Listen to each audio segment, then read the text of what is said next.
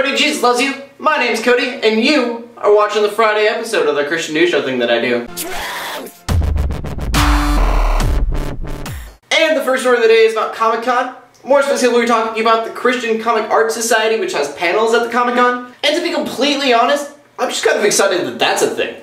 And pretty much what the CCAS is, is just a group of people who make comics for a living who happen to be Christian. The group consists of artists like Sergio Cariello, which if you don't know who he is, go check him out. Go check out the Action Bible, it's pretty much amazing. And other artists that are part of this are like Christopher Cole, who did the Book of Revelation, and then Billy Tucci, who did A Child Was Born. So pretty much what's so awesome about this, they're be doing panels like spiritual themes in comics, which isn't really like a Christian panel, but it's going to be a panel that's like, hey, there's religious stuff in comics, let's talk about it, which is awesome in its own right. But Sunday morning, they're also going to be doing a little devotional for anybody that wants to come, which that is awesome. They're bringing Christianity to a convention, and for that, that is so, so cool. Also, they're going to have a Q&A. So pretty much, if you guys are at Comic Con, you need to go check these guys out. Wish I could, but see CAS, you guys are amazing. And I know that Philip DeFranco already talked about my next story, but it needs to be spread by everyone because it's so cool. For anybody who doesn't know what Kickstarter is, it's like a giant charity website. People want to build things and make things, and so they ask for money there, and people give the money. Usually they get perks for giving a certain amount of money to whatever. That being said, Ouya is a console that has a Kickstarter, and it was trying to raise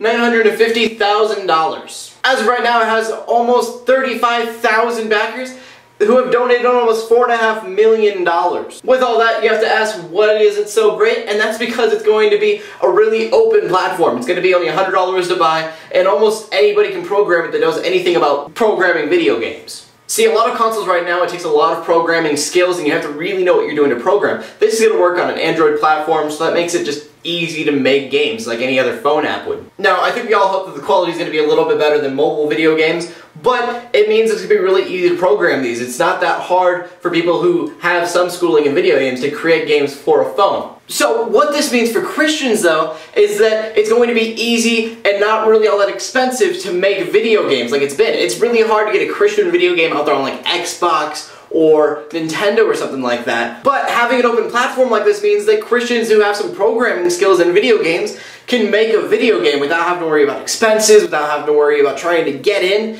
It's going to be really easy for Christian video games to exist. That by no means means that the quality is going to go up at all for Christian games, but we can have our hopes. Pretty much the only guideline for having a game on this console is that some part of that gameplay is free, whether it be a demo or if it's just a free game. So not only are we seeing something that's groundbreaking and historical with Kickstarter, but we might be seeing a historical time for Christians, which I don't know if anyone else is thinking about this like I am, but I'm excited. I can see a lot of good games coming out of this console, whether they be Christian or not. I just see good gaming coming out of something where it's made for the players to keep the console alive and to keep programmers alive because it seems like you can only have these elite programmers to make video games anymore and it can't just be anybody like it used to. So again, this is historical. A lot of you probably don't care, but I'm a gamer and anything that can give us Christian gaming that doesn't suck and isn't terrible and cheesy, I'm, I'm really excited for it. As always, there's a link in the description below if you want to go check that out. And I also put another link saying that video games are plummeting for the last seven months, so it could be the console that we need to kind of rejuvenate video games in general. I do know that in the financial poll they didn't include used games, and I'm sure that that's hurting the economy a little bit for video game companies. But I do know that newer consoles are going to not let you get used games, which will be interesting. I'm just kind of excited for the consoles video games in general. And I feel like this console could just rejuvenate how people feel about video game consoles again. It's not going to be all this hardcore gaming stuff. It's going to be something where just anybody can play, whether they be a hardcore gamer or if they just like playing games every once in a while. It's going to be so free and open that anyone who has an idea for a game is going to be able to make a game. And from that we go into our final story, which I'm really curious to see what you guys have to say about this. As of late, there's been a growing number of people going to bars to have their Bible studies. Obviously, within the American church, a lot of people are looking down upon this, but I kind of think it's a good idea. A lot of the pastors are saying it's not even about the beer. Most people that go don't even drink beer, they drink water, but they have it at a bar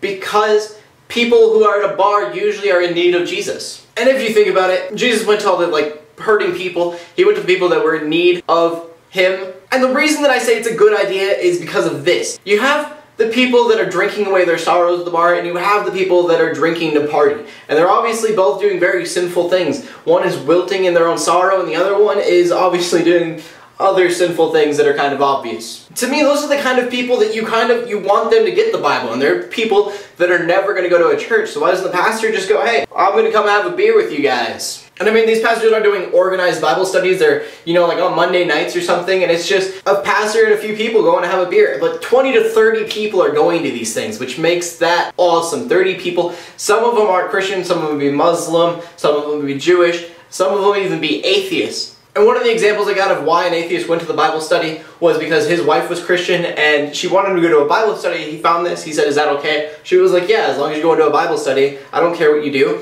So he'd go have a beer and he would have good talks about the Bible. And it wasn't something where they argue or anything like that. They just focus straight on the Word. And again, I think this is an amazing idea. Most people won't step foot in a church because it's uptight and it's uncomfortable. If you go to a bar, that's one of those comfortable places for some people to be. But again, on the other hand, there are a lot of people that are like, drinking is against Christianity, you shouldn't be doing that. So I'm going to throw two verses at you. I want to know what you guys think about drinking in Christianity and having a Bible study in a bar of all places. Do you think that's appropriate? Do you think that's inappropriate? Let me know. Comment in the comment section below with your answer or a video response would be awesome to this. Um, I'm going to give you two verses today. And since there are two Bible verses today, I wanted to get my Bible out just to make sure that I get those verses right. So, you know that was awesome. And the first verse today is Matthew 11, 19.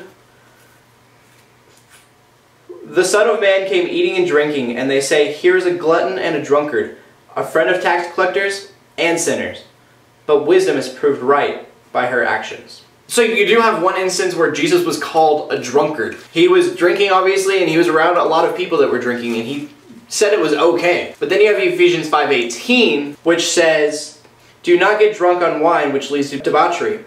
Instead, be filled with the Spirit. So, I mean, I just kind of want to know what you guys think. Do you think that it's appropriate to have a Bible study in a bar or not? I think what the Bible says is you can drink and that's okay. Don't get drunk to a point where you're going to do really stupid things, but it's not this terrible thing to drink. Anyways, again, let me know what you guys' answer is. That's all that I found interesting in the news today. So, in closing, haters keep hating, Christians keep praying. To everybody like subscribe, I will see you later, and God bless.